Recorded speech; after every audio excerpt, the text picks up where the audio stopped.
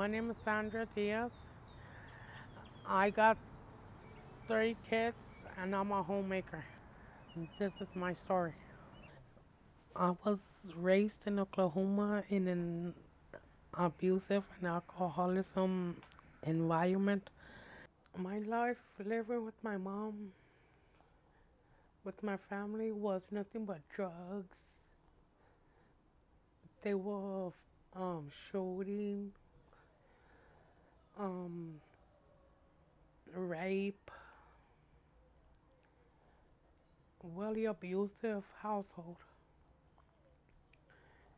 That's why I had to get out of my house. At the age of 17, I decided I didn't want to be in that environment anymore, so I moved back to California not knowing where I was gonna live.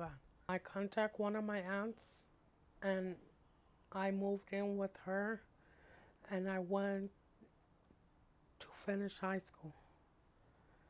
So after like about a year, we got into a fight and she kicked me out. And I was living on the streets for like a month until I found a job and I once stayed with one of my friends and I worked until I got my own place.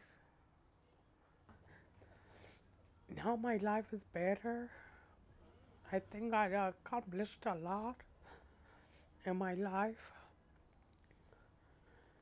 Um, there's no abusive, no drugs, no alcohol in my house.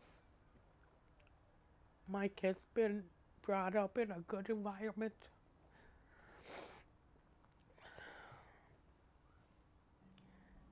I settled down with my kids and um, decided to improve myself along with them. California, met my husband. Um, the conflict is um,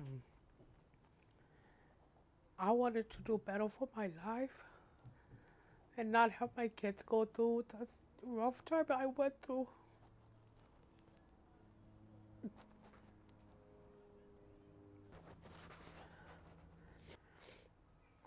For the future, I see myself with a bigger house.